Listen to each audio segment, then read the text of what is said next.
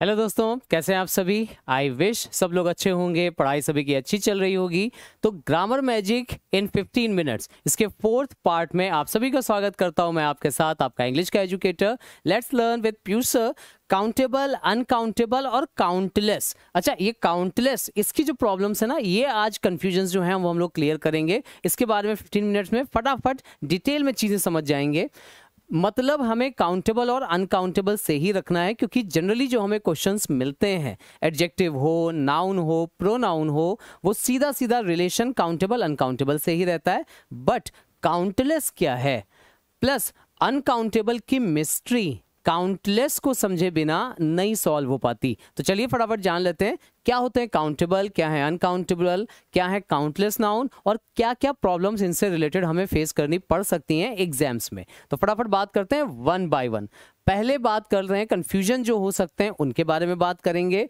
तीनों ही टर्म्स को काउंटेबल अनकाउंटेबल काउंटलेस को रिलेट करते हैं। सीक्वेंस से। पहले बात उन दोनों की जो एग्ज़ाम के लिए ज़्यादा इंपॉर्टेंट है। काउंटेबल और अनकाउंटेबल अब किसी भी स्टूडेंट से आप पूछ लो, या कोई टीचर आपसे जब पूछता है कि what is a countable noun countable noun क्या होता है? सीधा सीधा हमारा माइंड में एक ही चीज़ जाती है countable noun that can be counted मतलब ये वर्ड ही काउंटेबल अगर आप देखो तो दो वर्ड्स को मिला के बना हुआ है। काउंट प्लस एबल ऐसा नाउन जिसको गिना जा सके, वो काउंटेबल हो गया। है ना? सिंपल सा डिस्क्रिप्शन यही आता है। गलत भी नहीं है। अनकाउंटेबल क्या होता है? अब अगर आपसे ये पूछ लिया जाए तो अनकाउंटेबल वो नाउन होता है जिसे हम काउंट नहीं कर सकते। ठीक है ना? अनकाउंटेबल मतलब नॉट काउंटेड जिसे गिना नहीं जा सकता। इतनी पार्ट समझ में आता है। लेकिन क्या हम नाउन्स को देखकर, क्या आप नाउंस को देखकर काउंटेबल या अनकाउंटेबल पहचान सकते हैं। मतलब अगर इतने पार्ट पे कि आपको पता है काउंटेबल जिसको गिन सकें अनकाउंटेबल जिसको नहीं गिन सकें, क्या इतना पढ़कर हम नाउन को इन दो कैटेगरीज में डिवाइड कर सकते हैं? अगर कर सकते हैं तो कुछ एग्जाम्पल्स आपके लिए। फटाफट पहचानिएगा स्टूडेंट्स काउंटेबल हैं या अनकाउंटेबल बुक्स काउंटेबल हैं या अनकाउंटेबल ट्रीज काउंटेबल हैं या अनकाउंटेबल स्टार्स काउंटेबल या अनकाउंटेबल और मनी काउंटेबल या अनकाउंटेबल अब अगर मैं अपने एक्सपीरियंस की बात करूँ ना, जो स्टूडेंट्स से इंटरेक्शन करते हुए मुझे हुए हैं स्टूडेंट्स बोलते हैं बच्चे कि ये काउंटेबल नाउन है सर बुक्स भी काउंटेबल नाउन है, जिन्हें हम गिन सकते हैं. ट्रीज भी काउंटेबल नाउन में आता है. इसको भी गिन सकते हैं. स्टार्स बच्चे बोल देते हैं कि, सर, ये अनकाउंटेबल नाउन है. इसको हम नहीं गिन सकते। बहुत सारे हैं यूनिवर्स में, सब नहीं गिन सकते। मनी पूछा जाए काउंटेबल है अनकाउंटेबल है, ये थोड़ा सा मिक्स रिस्पॉन्स आता है। कुछ इसको बोलते हैं कि, सर मनी तो हम लोग गिनते हैं तो काउंटेबल है। कुछ बोलते हैं कि, सर, हमारे पास जो है वो गिन सकते हैं। जो दूसरे के पास है वो हम नहीं गिन सकते तो ये अनकाउंटेबल में रख देते हैं। अब अगर आपने स्टार्स को अनकाउंटेबल में रखा मनी को काउंटेबल रखा स्टूडेंट्स को काउंटेबल इतनी सी चीज़ें ऐसे अगर सिंपल तरीके से डिफाइन कर देना तो एक प्रॉब्लम नहीं सॉल्व होगी। स्टार्स बहुत सारे हैं अनकाउंटेबल में जनरली बच्चे इनको रखते हैं। बट अगर मैं आपसे पूछूँ कि एक कॉन्स्टिलेशन होता है, तारामंडल, जिसे हम सप्तऋषि कहते हैं, और सप्तऋषि में हमें सेवन स्टार्स मिलते हैं, है ना? तो अगर स्टार अनकाउंटेबल हैं तो ये सेवन कहाँ से गिने गए? और अगर स्टूडेंट काउंटेबल हैं, स्टूडेंट्स तो क्या हम बता सकते हैं कि पूरे वर्ल्ड में कितने स्टूडेंट्स हैं? या पूरे संसार में पेड़ कितने हैं, क्या हम गिन सकते हैं? नहीं गिन पाएँगे। तो अब ये कंफ्यूजन शुरू हो जाता है कि भाई काउंटेबल और अनकाउंटेबल को हम कैटेगराइज करेंगे कैसे? और यहीं पर इंपॉर्टेंट रोल प्ले करता है ये वर्ड काउंटलेस क्या होता है काउंटेबल क्या होता है अनकाउंटेबल क्या होता है काउंटलेस फटाफट जानते हैं।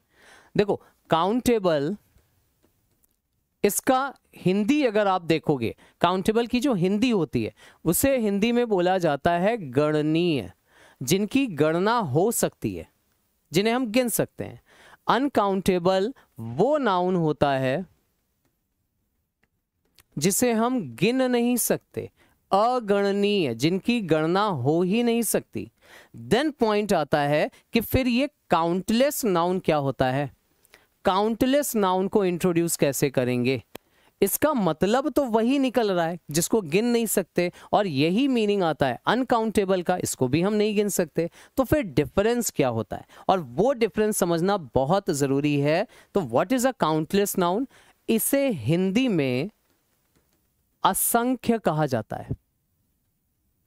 अब ध्यान से समझिएगा। काउंटेबल वो जिसे हम गिन सकते हैं। गिना जा सकता है। स्टार्ट कर सकते हो आप। स्टार्ट कर सकते हो। पूरा लिखा जाए तो गिनना स्टार्ट कर सकते हैं।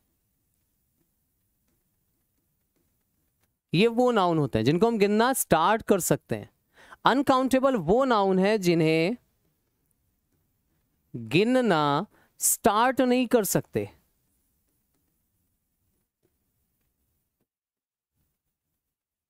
स्टार्ट नहीं कर सकते, इसलिए ये नाउन गिने नहीं जा सकते। अनकाउंटेबल भी गिने नहीं जा सकते काउंटलेस भी नहीं गिने जा सकते। डिफरेंस दोनों में समझिएगा, ये वो नाउन है जिन्हें हम गिनना शुरू ही नहीं कर पाएँगे।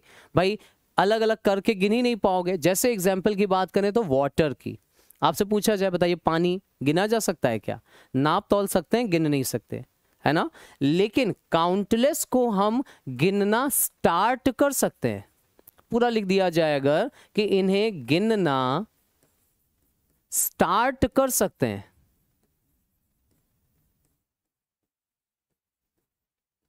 लेकिन बट सब नहीं गिने जा सकते, यानी सारे नहीं गिने जा सकते। क्योंकि ये इनफाइनाइट होते हैं। अब आप बताइए, क्या हम स्टार्स को गिनना शुरू नहीं कर सकते? कर सकते, लेकिन पूरे यूनिवर्स में कितने स्टार हैं, पूछ लिया जाए तो वो अनकाउंटेबल नहीं हो जाते। वो काउंटलेस हो जाते हैं। भाई स्टूडेंट्स को गिनना भी हम शुरू कर सकते हैं। एक क्लास में कितने स्टूडेंट्स हैं, आप गिन सकते हो। बट पूरे संसार में कितने स्टूडेंट्स हैं? एक लाइब्रेरी में कितनी बुक्स हैं, ये आप गिन सकते हैं। आपके बैग में कितनी बुक्स हैं, गिन सकते हैं। बट पूरे संसार में कितनी किताबें हैं, क्या हम गिन सकते हैं? नहीं गिन पाएँगे। उस नाउन को, जिसको गिना तो जा सकता है, लेकिन सबको नहीं गिना जा सकता। सबकी मतलब काउंटेबल और काउंटलेस एक ही चीज़ है। यहाँ भी देखो काउंट वर्ड है, यहाँ भी काउंट वर्ड है। ये भी गिने जा सकते हैं काउंटेबल और काउंटलेस भी गिनना शुरू कर सकते हैं। बस डिफरेंस ये होता है कि ये लिमिटेड होते हैं और ये अनलिमिटेड होते हैं। इनफाइनाइट होते हैं। यहाँ से डिफरेंस आपको समझना पड़ेगा। इनफाइनाइट अनलिमिटेड उन्हें बोला जाता है काउंटलेस नाउन ठीक है ना? काउंटलेस याद रखिएगा, असंख्य कहलाते हैं, जिनकी गिनती ही नहीं पता हो। भाई, पेड़ों को गिनना हम शुरू कर सकते हैं, लेकिन पूरे संसार में कितने पेड़ हैं ये आप नहीं गिन पाओगे, ठीक है ना? वो अनकाउंटेबल नहीं हो गए, वो काउंटलेस लेकिन जिन्हें अलग अलग करके हम गिन ही नहीं सकते, शुरू ही नहीं कर सकते, वो जाते हैं अनकाउंटेबल की कैटेगरी में। प्लस और आसान करें तो अभी के लिए ये समझिएगा काउंटेबल वो नाउन है जिसे हम गिन सकते हैं काउंट प्लस एबल और इसका बड़ा इंपॉर्टेंट पॉइंट इसमें मैं ऐड कर रहा हूँ, वो नाउन जिसका प्लूरल बन सके, वो काउंटेबल स्टार का प्लूरल बनता है स्टार्स ये काउंटेबल में जाता है। बट पूरे यूनिवर्स के पूछ लें तो वो अनकाउंटेबल नहीं, वो काउंटलेस में जाएँगे। सिमिलरली ये जो नाउन अभी हम लोगों ने लिखे थे, इनको पहचानना सीखिए। काउंटेबल है ये बुक्स भी काउंटेबल हैं ट्रीज भी काउंटेबल हैं स्टार्स भी काउंटेबल है। और मनी का प्लूरल नहीं बनता तो मनी इज़ अनकाउंटेबल और अगर कंफ्यूजन है कि हम मनी को गिनते हैं तो बी श्योर कि आप मनी नहीं गिनते, आप रुपी को गिनते हैं। और रुपी का प्लूरल बनता है rupees rupee is countable coin गिने जा सकते हैं, सिक्के. रुपी को गिन सकते हैं मनी को नहीं गिन सकते। तो ये पॉइंट याद रखिएगा, केवल काउंटेबल नाउन है, जिनका प्लूरल बन सकता है। काउंटलेस भी चूँकि काउंटेबल ही होते हैं, इसलिए इनका भी प्लूरल बनता है। बल्कि ये नाउन इतने सारे हैं कि सबको नहीं गिन सकते तो ये तो हमेशा प्लूरल ही होते हैं। ये सिंगुलर भी हो सकता है प्लूरल भी। और अनकाउंटेबल इज़ ऑलवेज सिंगुलर अब इस पे बेस्ड बहुत सारी चीज़ें आपको समझ में आनी शुरू हो जाएँगी, अगर ये पार्ट समझ में आया। ठीक है ना? क्यों ये पार्ट इंपॉर्टेंट है? क्योंकि कुछ वर्ड्स ऐसे हैं जो केवल काउंटेबल के साथ ही आ सकते हैं। कुछ वर्ड्स ऐसे हैं जो केवल अनकाउंटेबल के साथ ही आ सकते हैं। तो यहाँ से ज़रूरी चीज़ें सीखिएगा। वो वर्ड जो केवल काउंटेबल नाउन के साथ ही आ सकते हैं। ए और एन ये गिनने वाली चीज़ें केवल काउंटेबल के लिए। लेकिन काउंटेबल में भी दो नाउन होते हैं सिंगुलर और प्लूरल ठीक है ना? अनकाउंटेबल है तो सिर्फ़ सिंगुलर काउंटेबल है तो सिंगुलर प्लूरल और अब ध्यान रखना ए और एन के साथ सिंगुलर वाला नाउन द के साथ सिंगुलर भी हो सकता है प्लूरल भी. द बॉय भी होता है द बॉयज़ भी होता है. एग्ज़ाम्पल बोलता चल रहा हूँ, सुनते चलिएगा. सम कुछ few many a number of few a few the few इन सब के साथ जो नाउन आएगा, वो केवल काउंटेबल नाउन आ सकता है, क्योंकि ये सब बात करते हैं एक से ज़्यादा की. प्लूरल ठीक? काउंटेबल और प्लूरल फ्यू के साथ सिर्फ़ काउंटेबल आ सकता है मैनी के साथ केवल प्लूरल ऑल के साथ दोनों आते हैं, वो बात आगे कर लेंगे. All some enough plenty of majority of इनके साथ जब काउंटेबल नाउन आता है तो प्लूरल आता है, क्योंकि ये सब एक से ज़्यादा की बात करते हैं. एनदर एन लगा है, इसका मतलब जो नाउन आएगा, वो सिंगुलर होगा बट काउंटेबल होगा. अदर के साथ plural noun do you have another option I have other options each every one either neither इन सब के साथ नाउन सिर्फ़ काउंटेबल आएगा और सिंगुलर आएगा। टू थ्री फोर फाइव इनके साथ नाउन सिर्फ़ गिनने वाला आ सकता है और प्लूरल आएगा। दो, तीन, चार, एक से ज़्यादा की बात करते हैं। नो के साथ सिंगुलर और प्लूरल दोनों तरह का नाउन आ सकता है। No student no students both are correct uncountable noun के साथ कौन कौन से वर्ड्स आ सकते हैं। ए और एन नहीं आ सकता, केवल द आ सकता है। और ये सब सिंगुलर क्योंकि अनकाउंटेबल का प्लूरल नहीं बनता। मच आ सकता है little a little the little few नहीं आएगा मैनी नहीं आएगा मच आएगा। All the money all the students दोनों सही हैं काउंटेबल अनकाउंटेबल दोनों के लिए। एनफ यहीं पे सम भी लिख लो। सम स्टूडेंट्स भी होता है सम मनी भी हो सकता है। एनफ इसके साथ? अनकाउंटेबल नाउन भी आ सकता है काउंटेबल भी। एन अमाउंट ऑफ़ जैसे अ नंबर ऑफ़ आता है काउंटेबल के लिए, वैसे एन अमाउंट ऑफ़ आता है अनकाउंटेबल के लिए। प्लेंटी ऑफ़ नो ये सब वर्ड्स आते हैं अनकाउंटेबल नाउन के साथ। प्लस ये हैं कुछ इंपॉर्टेंट अनकाउंटेबल नाउन्स इनको ज़रूर पहचान लीजिए, जो नाउन चैप्टर में आपसे पूछे जाते हैं अनकाउंटेबल के पार्ट पे। फटाफट पढ़ रहा हूँ news hair scenery poetry furniture luggage stationery soap rope, ये सब अनकाउंटेबल है। सोप को नहीं गिन सकते, आप बार्स को गिनते हैं। रोप की लेंथ को machinery advice information business bread slice के फॉर्म में गिना जा सकता है। ब्रेड नहीं गिनते slice of bread loaf of bread mischief शरारत, इसे एक्ट के फॉर्म में गिनते हैं। Crockery baggage postage wastage jewellery items के फॉर्म में।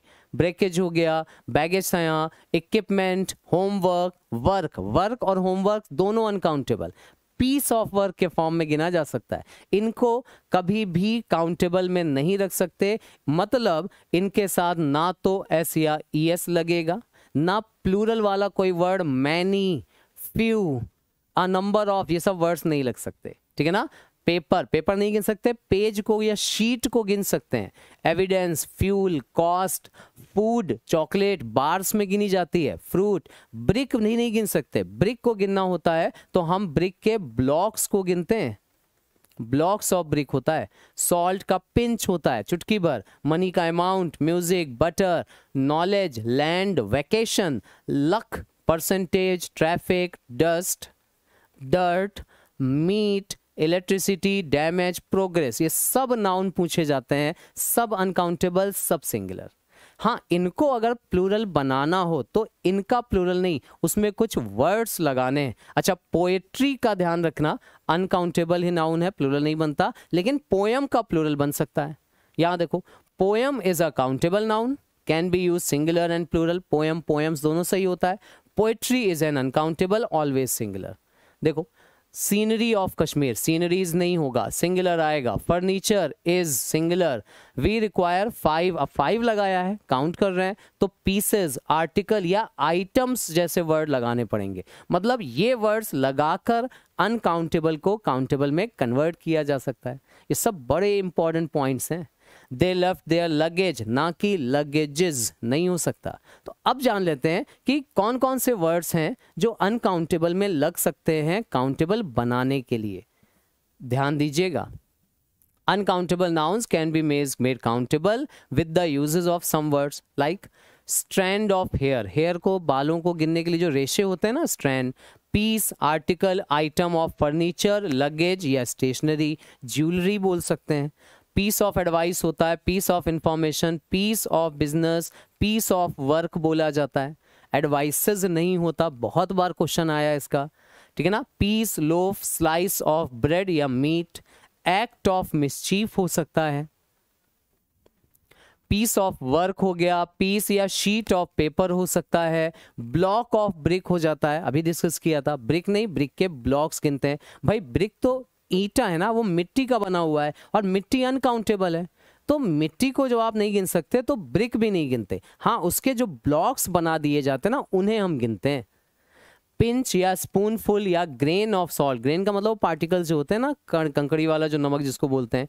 Amount of money piece of music bar या cake of soap length of rope piece bar या स्क्वायर ऑफ़ चॉकलेट इस फॉर्म में अनकाउंटेबल नाउन को गिनना चाहिए।